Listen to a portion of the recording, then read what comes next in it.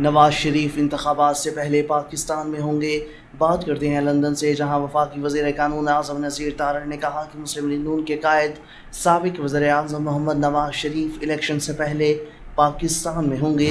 Media से बात करते हुए आज़म नज़ीर तारड़ का कहना था कि नवाज़ शरीफ पाकिस्तान वापस आकर इंतबी मुहिम की क्यादत करेंगे।